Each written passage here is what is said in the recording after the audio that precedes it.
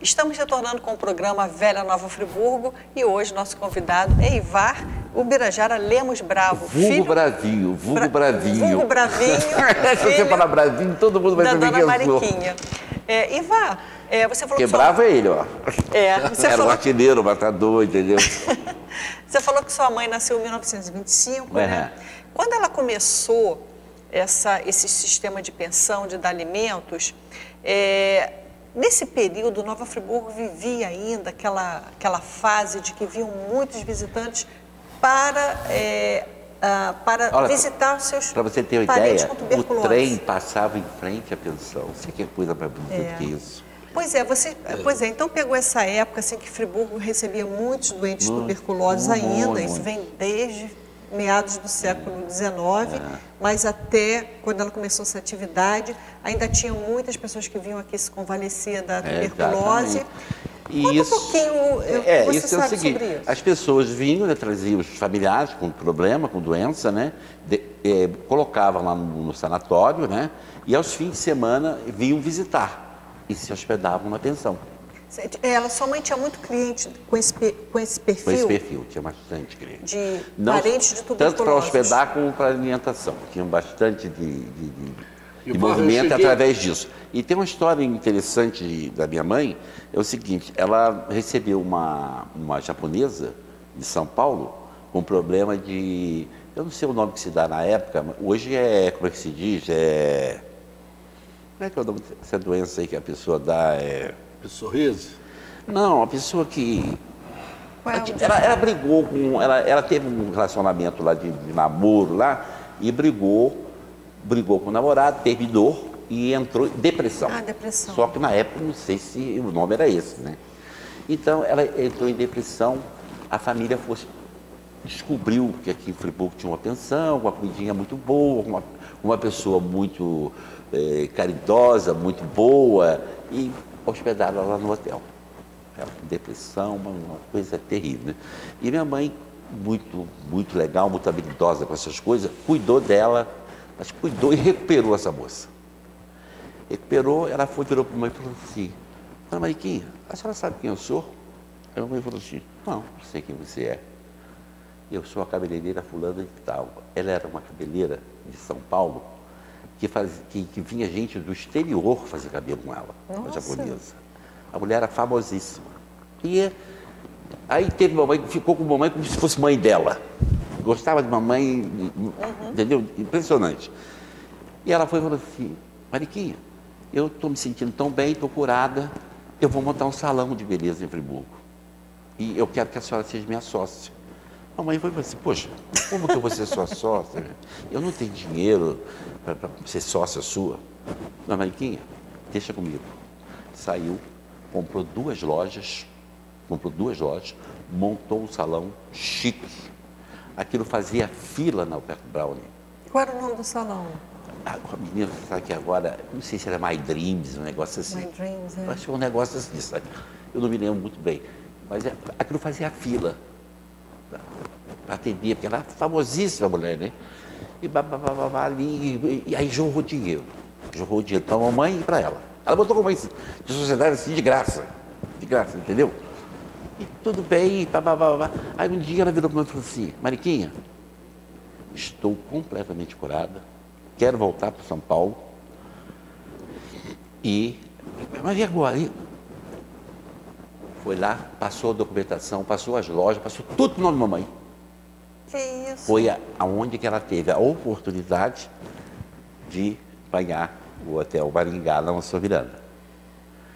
Porque a mamãe vendeu as lojas e com esse dinheiro ela conseguiu né, passar para o O Hotel, Hotel Maringá, Maringá. Hotel Maringá. Mas ela deu tudo para a mamãe. E, e, a- além disso, ela tinha levado a irmã da mamãe para ela ensinar. Aí a, a irmã da mamãe aprendeu e continuou o salão. Mas aprendeu, mas não era. A, a- a mulher era uma gênio, negócio de cabelo e, e essas coisas todas, né? Isso é uma historiazinha que aconteceu com minha mãe no hotel. Ô, Ivan, eu me lembro de um hóspede que tinha um soro alto, Acef, que chamava. Azer. Azer. Seu Azer.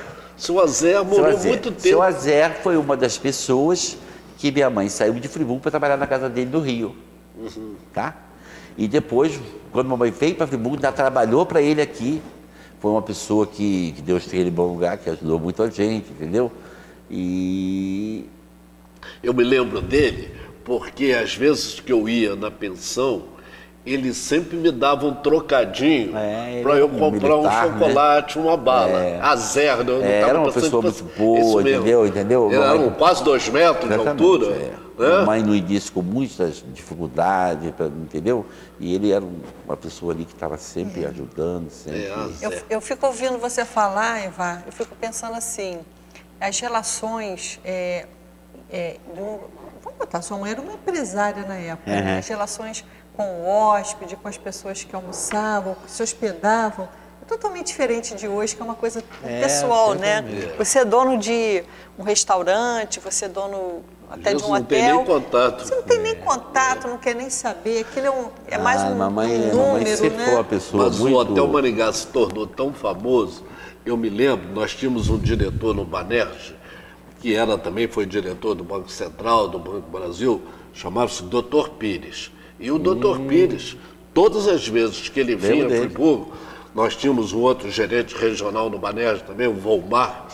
Volmar. Então o Dr. Pires falava, Volmar, vamos lá na Dona Mariquinha. E aí, quem tivesse ali da turma do banco, né, todos iam, como ele falou. Aliás, os o Valério frequentava bem a nossa... não é? nossa Aquela turma toda. Quer dizer, então, esse o Ivar Rocha está falando que vieram dos Estados Unidos Uhum. a Friburgo para conhecer É. o restaurante dele e montar em Orlando, né? Ah, Hoje, Orlando é um dos lugares dos Estados Unidos mais procurado pelos brasileiros. E quando o cara tem a oportunidade de ver aquela comida caseira servida na hora, como é feito no Hotel Maringá, com certeza quem tiver nos States vai querer. Ah, tá fazendo Né? sucesso lá. Vai ter sucesso, né, Ivar? É. E minha mãe era uma pessoa muito boa. Minha mãe, por exemplo, é, o empregado tinha dificuldade, ela. É, ah, a televisão do quartal não está muito boa. Então, ah, tá bom, então tira aquela televisão, vê qual empregado que não tem televisão, dá para ele. É, aquela geladeira lá, tá, vamos botar uma nova. Vê o empregado que não tem geladeira, dá para ele. E sempre assim. Mamãe é. Por exemplo, se você chegasse no hotel assim de noite, ela estava sempre numa mesa jogando buraco com alguém, e a pessoa você, eh, chegava e falava, Mariquinha, eu queria tomar um suco de laranja. Aí, fulano, faz um suco de laranja para mim. Aí o cara, quanto é? Nada não. Dona Mariquinha, eu queria tomar um uísque. tomar um uísque. Quanto é? Nada não. Tudo mamãe era nada não. Ela não queria cobrar ninguém, entendeu? Assim é o tipo que ela trabalhava. Às vezes ela estava se jogando buraco, chegava o doutor, por exemplo, uma pessoa que foi muito querida nossa lá, o doutor Urbano Carrielo. Chegava assim uma hora da manhã. Ele e o- os secretários dele. Delegado Geralmente- de Friburgo. Geralmente era três, quatro, né? Chegava assim, ela, ela numa mesa com os hóspedes, porque ela tinha o costume de chamar os hóspedes para jogar, jogar buraco. Ela adorava jogar buraco. E quando não tinha parceiro, e às vezes eu tinha que sair para ir um baile, uma festa, ou namorar, fulano, você hoje não vai sair. Por quê, mamãe? Eu tenho, que- eu tenho um encontro marcado com a namorada, eu vou a um baile e tal. Você hoje tem que ficar aqui para jogar buraco com o freguês. Era assim, então a gente tinha que ficar para jogar buraco com o freguês. Aí a gente estava jogando buraco. É por isso aí que você se tornou um grande jogador de buraco. e, modéstia à parte, ela era melhor do que eu. Porque ela conseguia, ela conseguia marcar as cartas. Ela sabia as cartas que estavam na sua mão, na mão de todo mundo. É. É. Um bocadinho de jogo, ela já, já sabia, decorava aquilo tudo, né? Eu acho interessante as relações, assim. Então, é, ela, ela, ela, ela terminava que na- naquela época a gente tinha almoço e jantar.